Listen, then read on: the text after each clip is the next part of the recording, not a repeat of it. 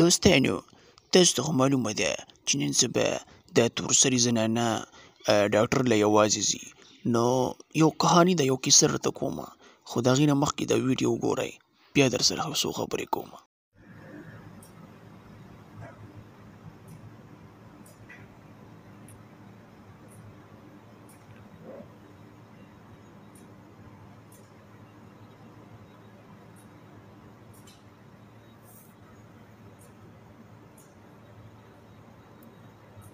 دې جینې ورته دا خپل مټر پلې کلک کړی دی نو خود به دا چټ کوي ګوره دوستانو زه ډېر زیاتې چغې وم چې خپلې زنانه یوازې ډاکټر ته مه پرېږدئ په خپله ورسره دنده کېږئ پوه شوئ اوس چې په ډاکټر په کمره کې دوه درې کسان ناست وي نو بیا خو څه نه کېږي بیا لکه